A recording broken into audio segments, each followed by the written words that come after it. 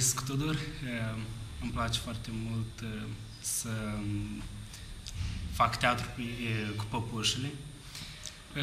M-am alipit acestui grup în anul 2005, toamna.